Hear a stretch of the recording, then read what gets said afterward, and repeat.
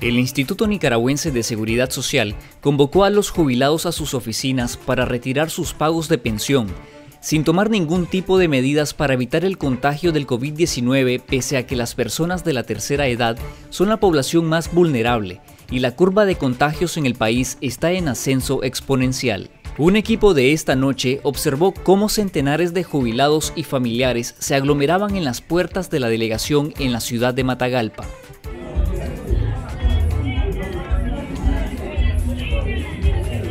Todas estas aglomeraciones para la pobre gente que tiene que ir a buscar su dinero, ¿verdad? porque no se lo pueden pagar vía electrónica, entonces eh, se juntan. Vos no ves que hay absolutamente una sola medida de responsabilidad de estar a 1.5 metros de distancia, de garantizarle que los viejitos y las viejitas se estén lavando las manos con agua y jabón, garantizarles alcohol gel, garantizarles una serie de cosas que lo ves, por ejemplo, que, lo hace la empresa privada. O sea, no hay absolutamente una sola medida. Eso, eso no puede ser. Creo que es responsable el INS de garantizar, porque cuando esos viejitos se enfermen, ¿quién es responsable? ¿Quién va a ser responsable? Tiene que haber alguien responsable de eso, hay que cuidarlo.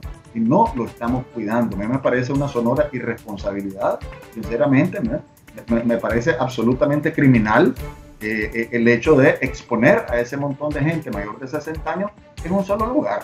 Yo creo que nosotros perfectamente tenemos la capacidad como nicaragüenses de que la gente esté distanciada. Hay diferentes formas de poder pagarle. A uno se les paga un día, otro se les paga otro día. Hay muchas maneras de hacerla de forma dispersa.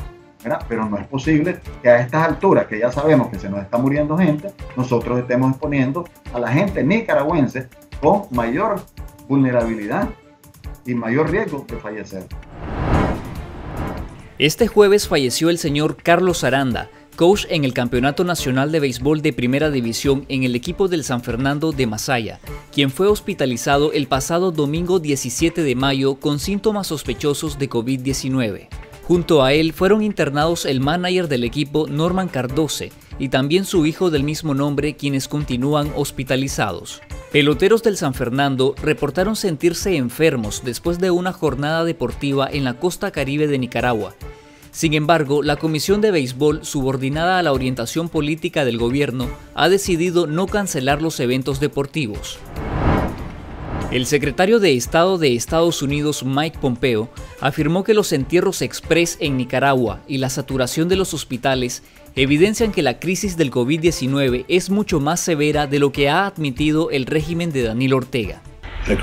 Nicaragua también. Estamos preocupados por numerosos informes creíbles de que los hospitales están llenándose y cuerpos están siendo enterrados a escondidas por la noche. Es una situación más severa de lo que el régimen realmente reconoce. La Unión Europea y sus países miembros anunciaron que están implementando programas para ayudar a la población nicaragüense más vulnerable, que suman unos 35 millones de euros. El equipo de la delegación de la Unión Europea y las embajadas de los Estados miembros en Nicaragua despliegan colectivamente 35 millones de euros a través de la implementación acelerada de cooperación para apoyar a las poblaciones más vulnerables frente a la pandemia. La cooperación de la Unión Europea se focaliza en facilitar el acceso a la higiene, el agua y el saneamiento, así como mitigar las consecuencias sociales y económicas producidas por la crisis del COVID-19.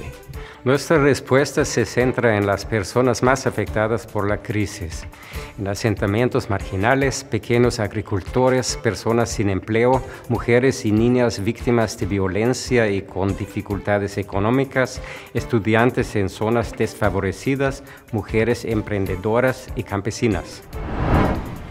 Ante los efectos económicos producidos por la crisis del COVID-19, la Unidad Nacional Azul y Blanco demanda al Estado una moratoria por el pago de servicios eléctricos y de agua potable por varios meses y que se establezca un subsidio para los sectores de la población de más bajos ingresos económicos.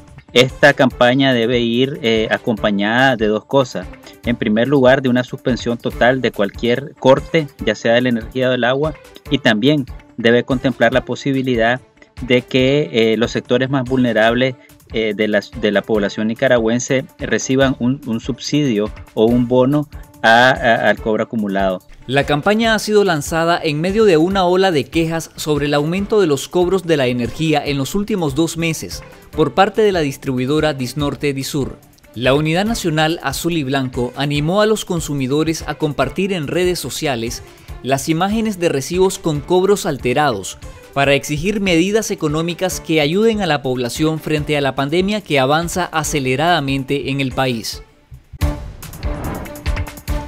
En nuestro sitio web confidencial.com.ni te invitamos a leer el testimonio de una madre que relata cómo su familia cambió totalmente su vida para proteger la salud de una joven de 16 años que se mantuvo en cuarentena en su casa durante más de dos semanas y que se recuperó del COVID-19.